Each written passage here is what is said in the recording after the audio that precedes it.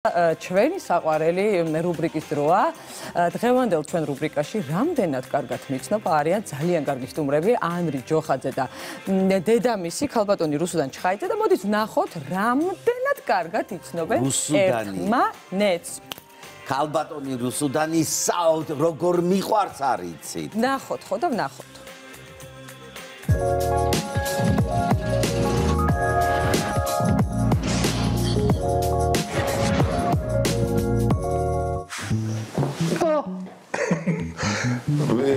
რამდენად კარგად მიცნობ? გიცნობ, ბაბა, არ გიცნობ? ჩემ გაზრდილ გადარეულ შვილს? კარგად ილაპარაკე. არა. აი ისე არის ლაპარაკო სახლში როგორც გველაპარაკები ხო? კულტურულად უფრო ხო? ლექსიკონი არ გამოიყენ, რასაც ჩვენთან იყენებ. არის. ვითომ კარგი გოგო ხარ? ვითომ?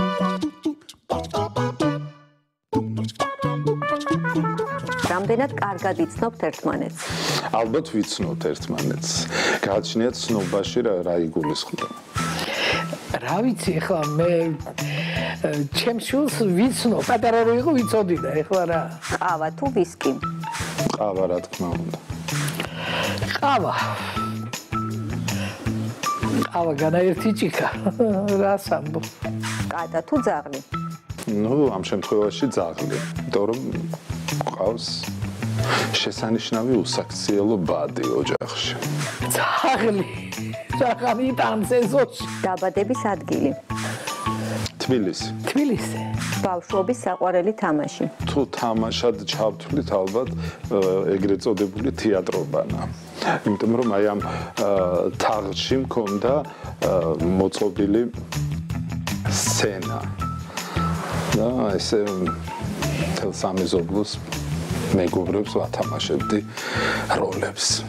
თამაშობდით თეატრობანას, მე ვიყავი რეჟისორი. ანდრის ბავშვობის საყვარელი თამაში იყო თეატრალური სამყარო, თოჯინების თეატრიც ჰქონდა. დაბლა სართულზე მეზობლის ბავშვები თვითონ რეჟისორი იყო, მაგრამ ჯოხიანი რეჟისორი ასად მინახია, მაგარი მაგი იყო. რა ფერია თქვენი კბილის ჯაგრისი? თეთრია. ხომ თეთრი მახსოვს. შეიძლება რაღაცა ფერი აქვს, მაგრამ არა თეთრია. მაგ ძალიან ხშირად იცმის კვილი ჯაგრის და მოდი ახლა და იმის საფიქრალის მეტი არაფერი მე კარგი საფერი კვილი ჯაგრისები აქვს.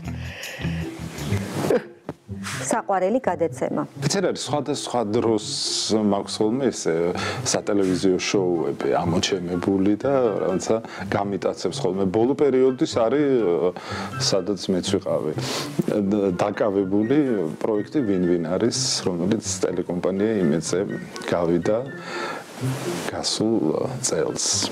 Time show. რაღაცა ძალიან მშობლიურია და ძალიან ფიქრობს ამ გადაცემას ყოველთვის. ვინ ვინ არის ცხოვრებაში ხშირად გამოგიცნიათ? ფაქტობრივად ყოველთვის. კი. გამოუცნია. პირველი კონცერტი. ა პირველი კონცერტი ეს იყო არ მინდა შევწდე. რამერიოს დრო. აა 4 წლის ასაკში ან იყო ფილარმონიის საკონცერტო დარბაზი, ან კონსერვატორიის მცირე დარბაზი. 4 წლის რო ვიყავი, ეგ ზუსტად მახსოვს.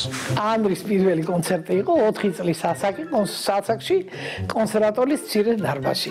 ანდრის დამახასიათებელი ფრაზა. ბოლო წლები ამოჩემებული მაქვს, ალო, აი რაღაცა ეს. ოღონდ ამ სხვადასხვა ხასიათში ვაკეთებ ხოლმე სიტუაციიდან გამომდინარე. ისე უნდა შევცვალო, მოძველდა. ალო, მაგდა ომარი ანდრი, რომელია დედის ასლი? ანრი. ხო ის მე მე რომ არ ვთქვა ისედაც შანს ამრი არის დედის ასლი ჭამა ადამიანების მოწონება რაღაცა რომ მოგწონს თუ არ მოგწონს ყველაფერი არის ჩემი ასლი ანრი უფრო წამყვანი თუ ჟიური